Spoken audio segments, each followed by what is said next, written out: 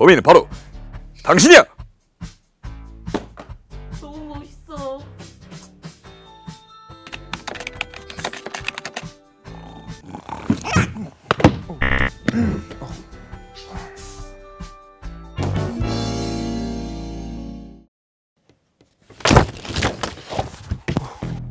코골이와 수면 무호흡증이 없는 사람이 범인의 가능성이 높다라.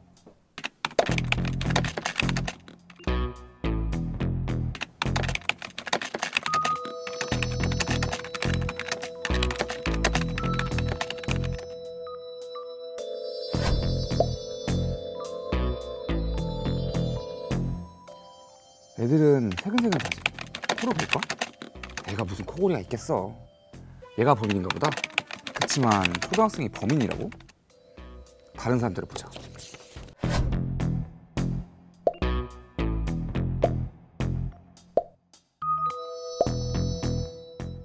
하, 이러한 증상들이 코골이와도 관련이 있는 걸까? 확신이 안 서. 다음.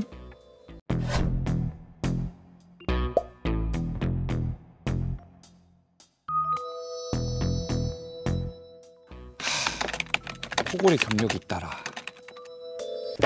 하, 도대체 누가 범인인 거야? 생각하자, 생각하자, 생각하자.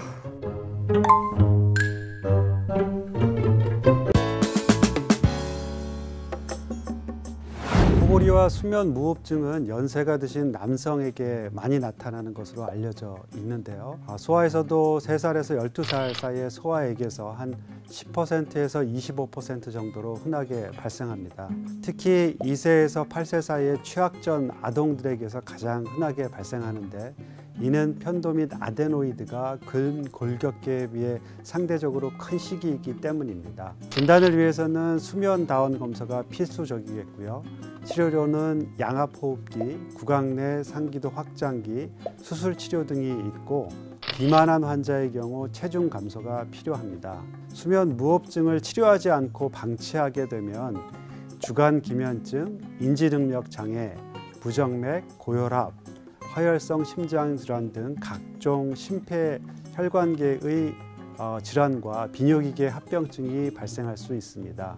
또한 소아 수면 무호흡증은 성장 장애, 학습 장애, 행동 장애, 인지 능력 장애와 아주 밀접한 관계가 있는 것으로 알려져 있습니다. 따라서 잘 때 심한 코골이 수면 무호흡증 증상을 보이거나 주간 졸리움증이 있거나 소아 같은 경우 야뇨증, 성장 장애나 비만이 있다면 반드시 적절한 진단과 치료가 필요합니다.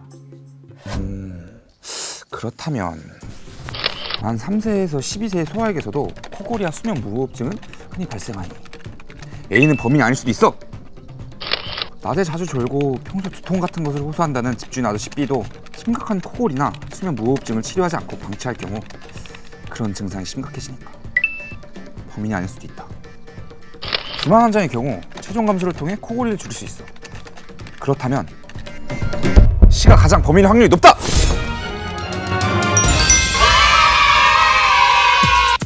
C를 더 조사해달라고 보고서를 올려야겠어. 오늘도 사건 해결이다.